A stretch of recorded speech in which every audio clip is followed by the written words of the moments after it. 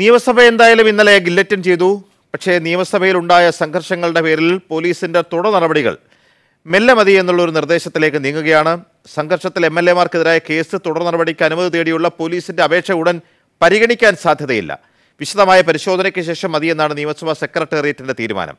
അതേസമയം സർക്കാരിനെതിരെ സഭയ്ക്ക് പുറത്ത് സമരപരിപാടി ശക്തമാക്കാനാണ് ഇന്നലെ ചേർന്ന യു ഡി എഫ് യോഗത്തിലെ തീരുമാനം. കെ ജി കമലേഷാണ് വിശദാംശങ്ങളുമായി ചേർന്നത് കമലേഷ് സർവകക്ഷി യോഗത്തിൽ ഇത്തരം ഒരു ചർച്ച വന്നിരുന്നു.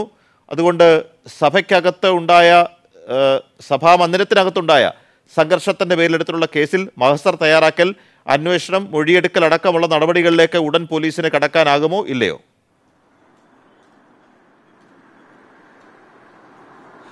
കടക്കാനുള്ള സാധ്യത കുറവാണ് പി ജി. എന്തായാലും സഭ അടിച്ചു പിരിഞ്ഞ ശേഷം സഭയ്ക്ക് പുറത്ത് സഭയിൽ നടന്ന കാര്യങ്ങളിലെ ഭാവി എന്തായിരിക്കും എന്നുള്ളതാണ് പ്രധാനപ്പെട്ട ആകാംക്ഷ. അതിൽ പ്രതിപക്ഷത്തെ ഏറ്റവും അധികം പ്രകോപിപ്പിച്ചത് ഏഴ് എം എൽ എമാർക്കെതിരെ ജാമ്യമില്ലാ വകുപ്പിലെടുത്ത കേസാണ്. തിരിച്ച് ജാമ്യമുള്ള വകുപ്പിൽ ഭരണപക്ഷത്തെ എം എൽ എമാർക്കെതിരെയും കേസുണ്ട്. ഇതിൽ മ്യൂസിയം പോലീസ് നിയമസഭാ സെക്രട്ടറിക്ക് ഒരു അനുമതി തേടിക്കൊണ്ട് കത്ത് നൽകിയിരുന്നു. അതായത് ഈ സ്പീക്കറുടെ ഓഫീസിന്റെ മുന്നിലെത്തി മാസർ തയ്യാറാക്കാൻ അനുമതി വേണം. ഒപ്പം തന്നെ എം എൽ എമാരെ സാക്ഷികളും പ്രതികളുമായി എം എൽ എമാരെ മൊഴിയെടുക്കാനും അനുമതി വേണം. ഒപ്പം അവിടുത്തെ സി സി ടി വി ദൃശ്യങ്ങളും സഭാ ടി വിയുടെ ദൃശ്യങ്ങളും ഒക്കെ വേണമെന്നുള്ളതായിരുന്നു. ഈ കാര്യത്തിൽ അടിയന്തരമായി തീരുമാനം എടുക്കേണ്ട എന്നുള്ളതാണ് നിയമസഭാ സെക്രട്ടറിന്റെ ഒരു നിലപാട്. വിശദമായ പരിശോധനയ്ക്ക് ശേഷം നിയമവിധുരമായി ആലോചിച്ച് മാത്രം മതി.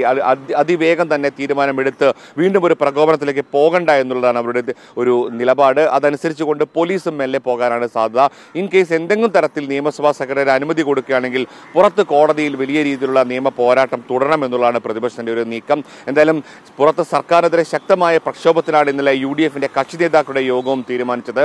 മണ്ഡലം മുതൽ സെക്രട്ടേറിയറ്റ് വളയൽ വരെയുള്ള വലിയ സമരം തുടർന്ന് അങ്ങോട്ട് വിവിധ ദിവസങ്ങളിലായി യു ഡി എഫ് ആലോചിക്കുന്നുമുണ്ട്. പി